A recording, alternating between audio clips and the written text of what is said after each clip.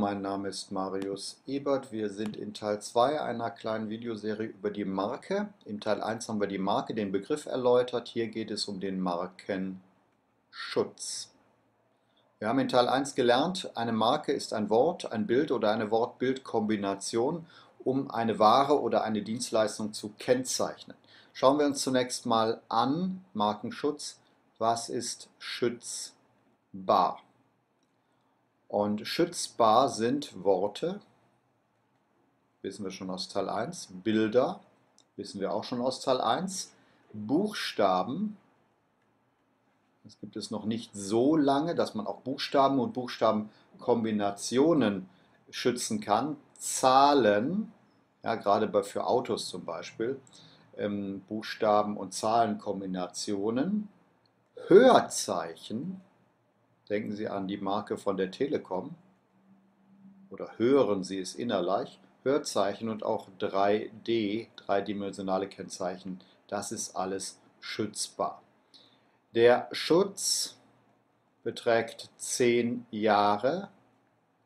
Wiederholung, also ähm, Verlängerung, nicht Wiederholung, Verlängerung muss man sagen, Verlängerung alle 10 Jahre. Damit ist die Marke ein unbegrenztes Schutzrecht. Also Sie können Sie über Generationen, können Sie das schützen lassen, wenn Sie alle zehn Jahre die Verlängerungsgebühr bezahlen. Anders als das Patent zum Beispiel, das nach 20 Jahren ausläuft, läuft der Markenschutz nie aus, wenn Sie immer die Verlängerungsgebühr bezahlen. Zuständig ist das Patentamt das Patentamt hat seine Zentrale in München, hat aber Außenstellen. Und ähm, Sie können sich aber direkt an das Patentamt in München wenden, www.patentamt.de. Dort bekommen Sie auch das entsprechende Formular. Was ist schützbar? Nun, wenn wir auf einer Skala mal gehen, zwischen Produkt beschreibend und in, individualisierend. Produktbeschreibend links und individualisierend rechts, dann lautet die Regel, wir müssen so weit wie möglich nach rechts rüber. Also Beispiel, Parkbank ist rein produktbeschreibend, ist nicht schützbar.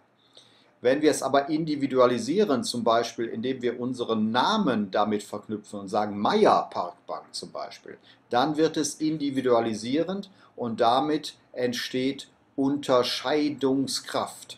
Also die Idee ist, dass dieses Wort, dieses Bild, diese Kombination hier, dass sie Unterscheidungskraft entwickelt. Ja, also da müssen wir hin zur Unterscheidungskraft. Scheidungskraft. Deswegen sind Fantasieworte sehr gut geeignet, zum Beispiel, um als Marke schützen zu lassen. Oder Abkürzungen, aus denen man Fantasieworte bildet. Haribo, Hans Riegel Bonn zum Beispiel. Ja, da hat jemand also seinen Namen verwendet und gleichzeitig ein Wort geschaffen, das es vorher noch nicht gab. Und das ist als Marke schützbar, weil es Unterscheidungskraft hat. Okay, das, was ich hier gesagt habe, gilt für den Markenschutz in Deutschland. Der europäische und weltweite Patentschutz ist etwas umfangreicher und komplizierter. Das wird auch den Rahmen dieses Videos jetzt hier sprengen, denn wir sollen hier in dieser Aufgabe den deutschen Markenschutz erläutern und das haben wir hiermit getan. Klicken Sie nun unter dem Video auf www.spaßleindenk-shop.de. Dort finden Sie Lernhilfen, die Ihnen Zeit und Leid ersparen. Viele, viele Menschen leiden, während sie lernen und das ist nicht nötig. Sie können auch mit Freude und Motivation lernen und Sie finden in meinem Shop die Mittel dazu. Mein Name ist Marius Ebert. Vielen Dank.